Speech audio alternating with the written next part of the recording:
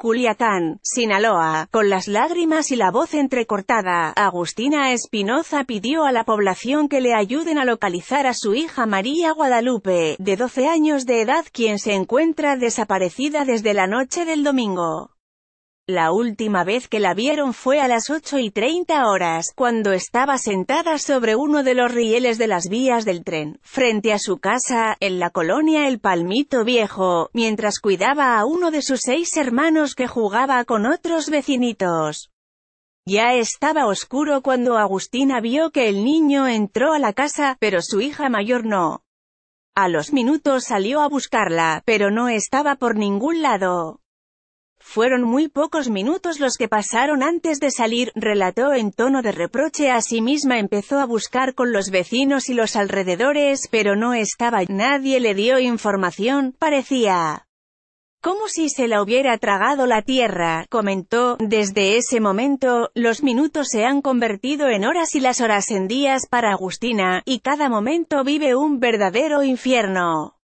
Me falta mi hija, estoy incompleta, dijo con la voz llena de angustia. Última pista de María Guadalupe el día siguiente, en el cuarto de una casa contigua que está abandonada, encontraron el suéter del niño que María Guadalupe cuidaba y que ella traía en sus manos pero allí no hay manchas de sangre ni huellas de forcejeo, aún así no descartó que alguien se la haya llevado. Otra hipótesis que se maneja de este caso es que pudo haberse ido caminando sin rumbo, porque sufre trastorno de ansiedad, pero nunca había hecho eso, además de que le da temor andar de noche sola.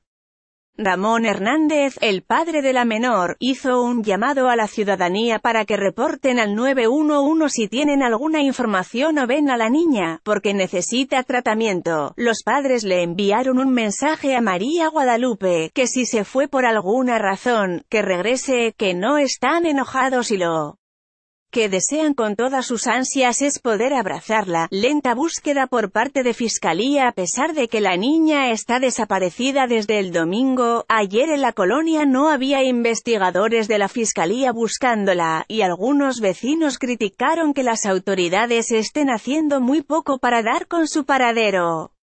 Relataron que uno de los investigadores que fue dijo que la niña pudo haberse ido con un novio. Han sido los mismos familiares los que se han dado a la tarea de buscar en el canal recursos que pasa cerca de la casa, y por el Boulevard Zapata, pero no han encontrado nada.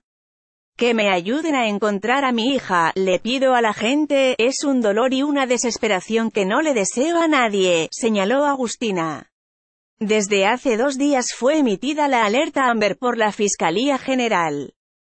En esta nota, alerta Amber María Guadalupe desaparición de menores.